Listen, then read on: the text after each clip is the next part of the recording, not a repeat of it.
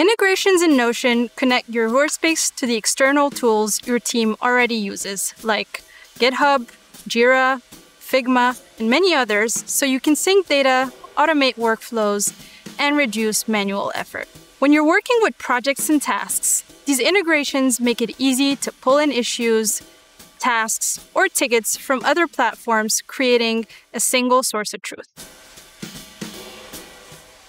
Connected properties are a special kind of database property that link to third party tools like GitHub, Figma, Zendesk, or Google Drive. And because they're built right into your database, they go way beyond just the basic link preview. Here's what makes them especially useful. First, they stay in sync with the source. So if something changes, like a pull request gets merged in GitHub, the link task in Notion updates automatically. Next, they help you stay organized. Just like any other property in a database, you can filter, you can sort, or you can even group by connected properties. So if you want to see every task tied to a certain Figma file, super easy. And since these links live right alongside your other tags and properties, your team gets a quick, clear view of what's going on without bouncing between tools. Say your design and dev teams are collaborating on a new feature. Designers are working in Figma, and developers are tracking tasks in Notion. With a Figma connected property in your task database, you can link each task directly to its design file or component.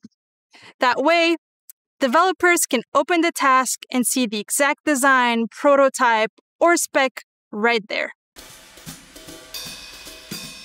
When teams are using different tools, important information can become siloed.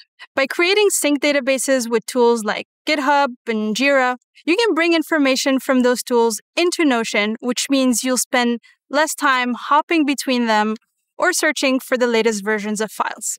In this example, we'll connect Jira to a Notion workspace using sync databases, which pull data directly from your Jira instance and fit right into Notion's projects and task setup. First, make sure your company has the Jira integration enabled in Notion. You might need to check with your admin to confirm your workspace is authenticated. Once that's sorted, go to Settings and click on Connections. Find Jira, hit Connect, and log in with your Jira credentials. After that, syncing is easy. Just paste in a Jira project link or use slash Jira sync to get started. Notion will automatically create sync databases for you. Even if you navigate away, they'll continue updating in the background. Your Jira projects will sync into a Notion projects database, and your Jira issues will sync into an issues database.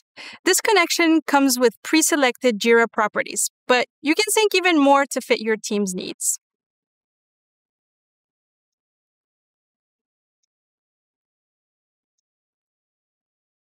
The beauty of sync databases and connected properties is that even if some teammates don't have access to tools like Jira or Figma, they can still stay in the loop and contribute all from Notion.